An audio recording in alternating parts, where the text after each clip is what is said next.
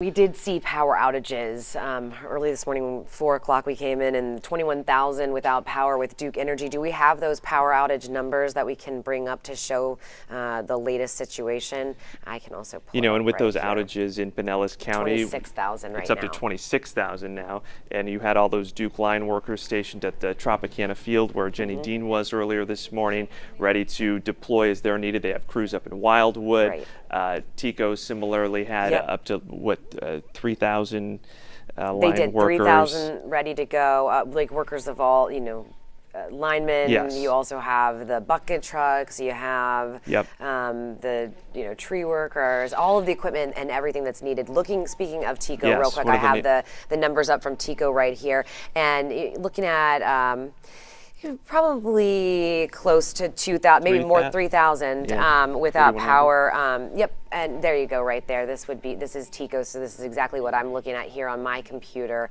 and you can see um, which areas are are most impacted. You've got Maybe not. South Tampa, but really it was more. Yeah, it was more like um, town and country. We have official landfall. Okay, Oh, so let's go ahead. If you if you all can, please bring up um, Bobby's mic. Uh, Chief And Meteorologist Amanda, Bobby and Mills, Amanda. you and Amanda. the wall? I'll go ahead and drive. Okay, so Amanda Pap is saying that the storm is making landfall here as we speak. We're going to switch over to her and uh, her map here as soon as we can so we can show you that uh, up in the Big Bend area here.